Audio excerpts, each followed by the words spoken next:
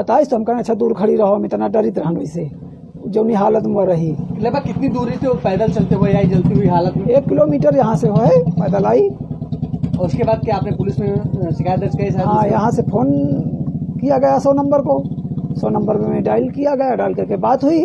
उसके फ़ोन उसके मुँह के सामने लगाया गया। उसने बात खुद किया और करने के बाद फिर यहाँ से चली गई। और जाके बाद आगे सौ नंबर गाड़ी आ गई उसमें बैठ के चली गई।